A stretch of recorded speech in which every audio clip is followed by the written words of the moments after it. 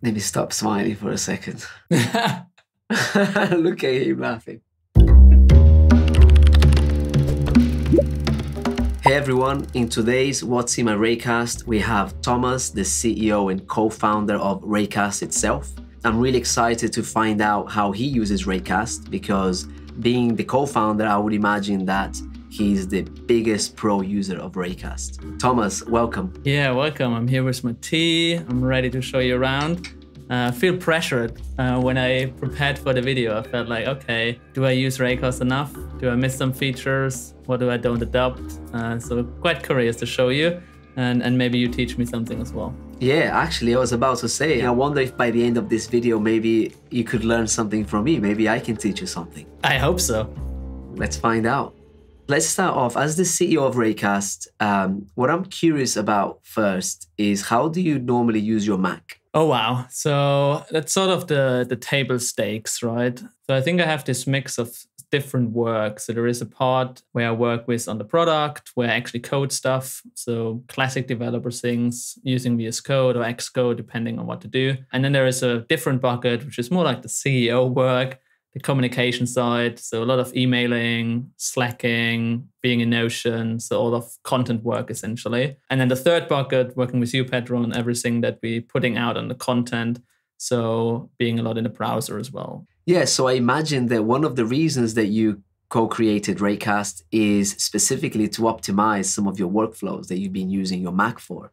So without further ado, why don't you uh, share your screen with us and show us what's in your Raycast? Let's do it. So the first thing I use Raycast a ton is jumping between different applications. So how I do that is I have hotkeys mapped to my most frequently used um, applications. So for example, I have option N, which opens Notion. So I can jump straight away in here. This is a proposal um, that we're reviewing at the moment. And then I have like those hotkeys pretty much set up for all the other apps that I'm using. So I have option A to open Arc, my browser, um, and then I have uh, option X for Xcode and so on and so forth. So I usually use option and the first letter of an application to open that. The other thing when I work, like a table stakes for me is window management. What I do often is I have one window on the left, another window on the right, um, or I use this window and put it into the center um, or make it full screen. So I have hotkeys for all of those things. So that's sort of like how I navigate around my Mac. Um, the fun thing is like you haven't seen Raycast yet, right? So I use all of that just the hotkeys because those are interactions that I do so frequently that it's actually quicker for me assigning hotkeys and do that. Is there a logic behind your hotkeys? Like, how do you rationalize the hotkeys to the window management commands? Uh, I need to look actually on my keyboard because I it's such a muscle memory that I don't remember the exact keys. But what I do is like I have um, control option as my modifiers, and then I press left to go left, the right arrow key to go right, up and down to basically go between the halves. And then with the same modifier keys, if I do C, it centers it. If I do return, it makes it full screen. And then actually just recently, Pedro, I got this from you, is I use plus and minus to make the window a bit bigger and smaller, which I quite like. So if I have a nice window size, I can just fine adjust it a bit. For all the other things, I basically have oftentimes aliases assigned. So this is my Raycast setup. The first thing that you see here is like on the top, I have a few favorites. Um, and those favorites are kind of like giving me information that I oftentimes need. So the first one is team time. You basically see the different team time zones that we have. The second one I have is like year in progress. This is a simple extension that I built like a while ago. So it's a bit like a motivational boost for me, meaning like, okay, now it's just 30% left. We better get going. And then the last one here is this one is connected to our HR system, Bob. Um, and it shows me basically who's off today. As a CEO, is there any commands that only you have? Yeah, no, I'm not that special. so all the commands, like who have the Raycast symbol here, they're basically shared internally. So every Raycast employee has access to them. So everybody can see who's off today or the team time. Or we have also here like um, an extension to post our weekly updates. So we every Monday we post what we're working on. So this is just a little extension uh, where you can post stuff. This is my debug version because I did some changes last Friday on it. And then you can basically post what you did last week, what you're going to do this week, and can just notify and broadcast information to the team on the Monday morning. But then there is like one specific thing that also every employee has is like we have an internal build. So this build is getting built every night. So every day we get an update as an employee with the latest features on our main branch. So this allows us to continuously dog food and allows us to make continuous improvements. So we have a few things like, for example, a camera command that I'm working on at the moment. So hopefully we're going to ship that one soon. That is also marked as an internal command. So meaning that's only accessible for employees at the moment. And then at some point we're going to publish that and make it available for everybody. Another thing that I use Raycast a lot for is like um, hotkeys for changing my volume. So I use an external keyboard, a mechanical one, which doesn't have buttons for volume up and down. So what I have here is I basically have volume up, which is again mapped to a combination. So I have in here option shift up to make something louder and option shift down to set the volume a bit down. Um, and I have the same also for things like lock screen. So I can quickly lock my screen when I go for lunch or something like that. One thing that changed for me over time uh, while I was using Raycast are menu bar commands. So before I always had to pull information, but there are some things which make menu bar commands a lot easier. So use them mainly to stay on top of stuff.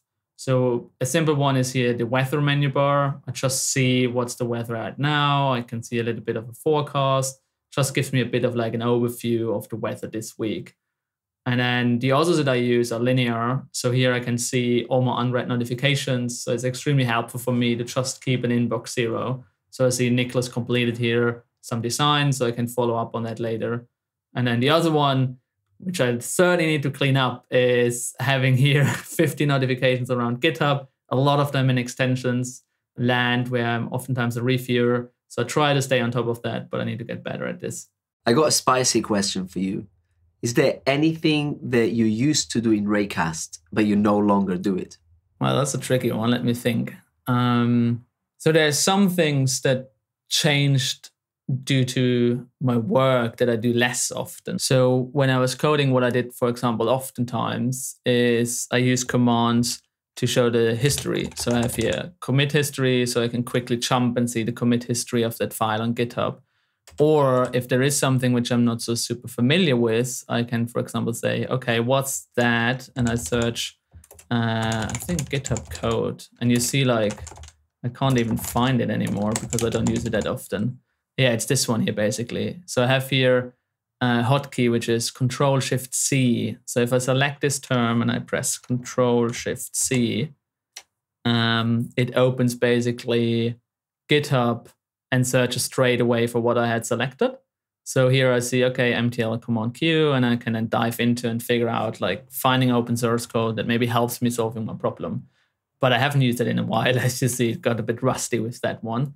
The other one, which I used to use quite often, was Google Search. So I have here um, actually a quick link for searching Google. Um, or here like is a Google Search command as well like funny enough, since we have Raycast AI, I find myself searching a lot less.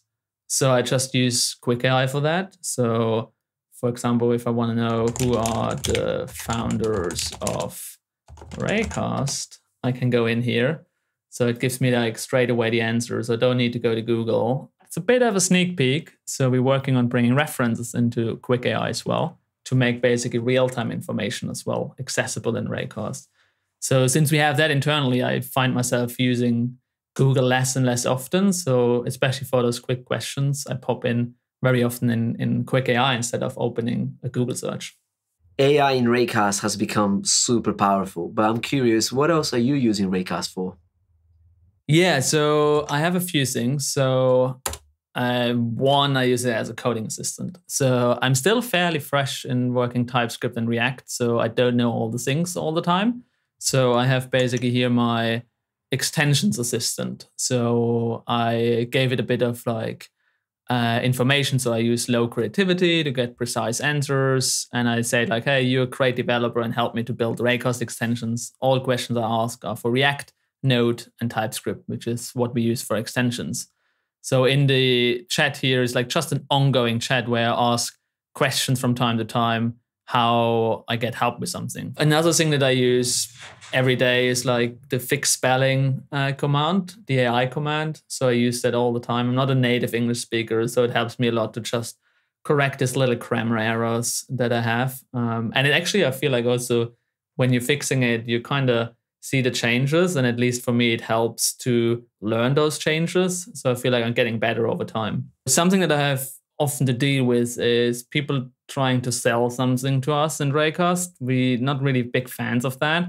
So what I did, I created myself a little AI command. Um, I still try to reply to all of these emails just to be nice. So I have here decline email. you also see decline fundraising.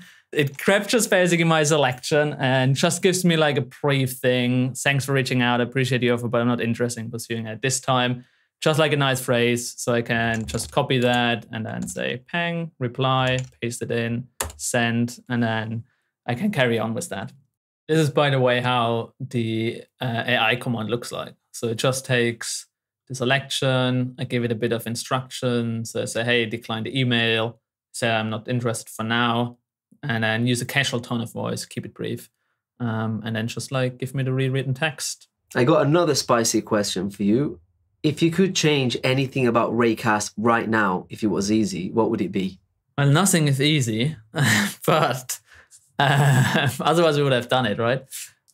I always wonder if our window is too big, and is if we should make it a bit narrower, a bit smaller. Just like especially on smaller Macs, it feels like sometimes huge. Um, we have the compact mode, right, which is a different representation of Raycast but I like having the full window and I always wonder if it's too big. But then if you make it smaller, well, people want to have even bigger fonts, which we don't offer. So it's a bit of a tricky thing.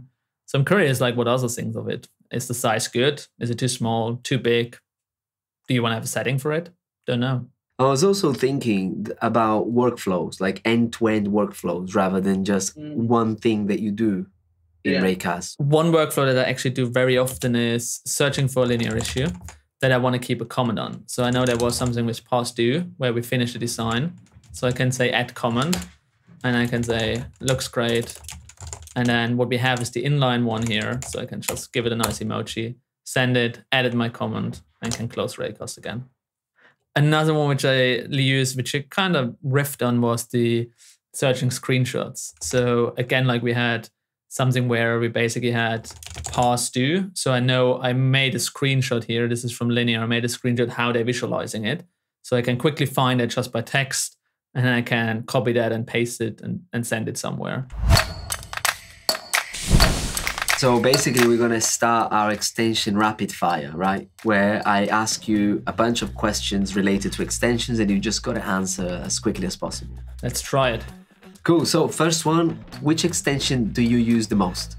Linear. So I use it in the menu bar to check my notifications. I use it all the time to create issues wherever I am. And I use it to stay on top of my issues to close them.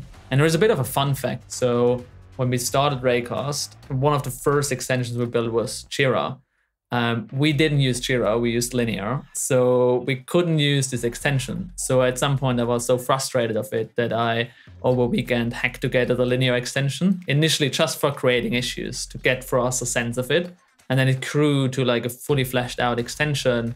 And then just recently, we made it open source and converted it to the API.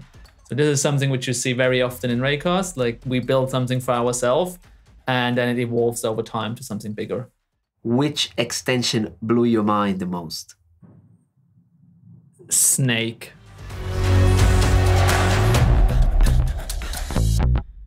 What's the favorite extension that you built?